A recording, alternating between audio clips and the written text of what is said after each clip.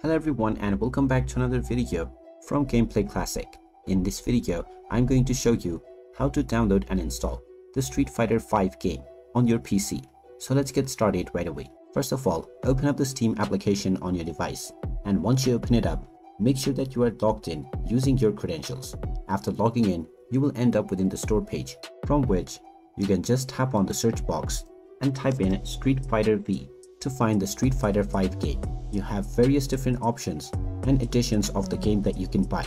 Choose whichever game you wish and you can click on the add to cart button from the game page alongside the version that you wish to purchase. You can then click on view my cart after adding it to your cart and now you can click on the continue to payment button in order to finalize your payment to purchase this game. Just choose your payment method and then click on continue and after providing your payment credentials, your payment information will be verified and once the transaction is completed, this game will be added onto your library right away.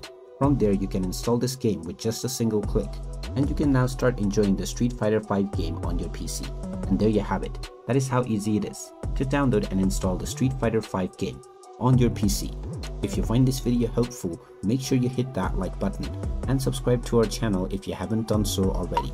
Also ring that notification bell to never miss another update from us. Thank you for watching and I will see you again in the next video.